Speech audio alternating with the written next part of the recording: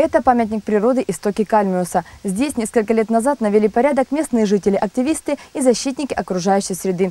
Теперь же продолжают очищать воду и выкладывать дорожки участники экологической экспедиции. Максим Гладилин перешел в 9 класс Авдеевской школы-интерната. Здесь он два дня прорывал траву на экологической тропе к реке. Сегодня с утра обустраивает дорожку. Говорит, работать на свежем воздухе ему очень нравится. Для меня эта работа не очень привычна.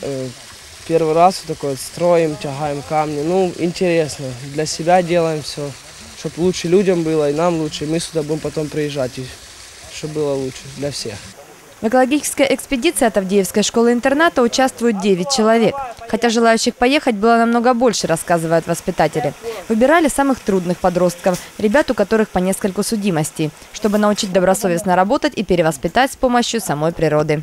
Нас в школе дети находятся круглый год, э, замкнутый цикл. Живем, учимся, ну, чисто психологически в одном и том же коллективе детям трудно, поэтому возникают ссоры, проблемы. Ну, и для разгрузки психологически детей, вот, дети изъявили желание поехать поработать, отдохнуть, э, романтика, Дети сами разбивали лагерь, косили траву, ставили палатки, учились разжигать костер, говорят педагоги. Здесь они не только работают и рисуют экологические плакаты на областной конкурс, и проводят товарищеские футбольные матчи с сельскими ребятами. На каждый день расписание. С 8 до 11 работа, затем обед. Вчера была каша, сегодня плов с тушенкой и овощной салат. Кухня классная, мне, мне очень нравится, вкусно. Чай, чай готовят, там каждый там бывает готовит, там плов сейчас будет, потом каша бывает, вкусно очень.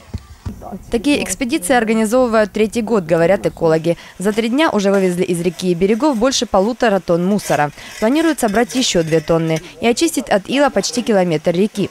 А через несколько лет здесь намерены даже открыть аллеи Горловского, Авдеевского и Донецкого интернатов.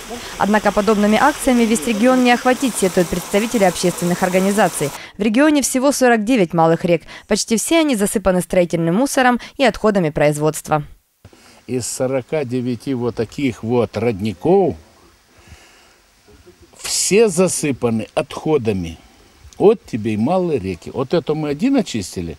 Э, теперь у нас программа второй рукав очистить, а потом мы займемся, у нас еще два таких урочища, будем очищать.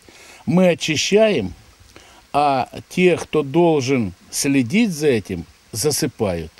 Этим летом будут организованы еще две экспедиции по две недели. На каждую общественные организации тратят 5-6 тысяч гривен. Все это пожертвования. Государство на выезд детей и очистку малых рек, по словам экологов, не дает ни копейки. Оксана Витер, Алексей Логвин, Панорама.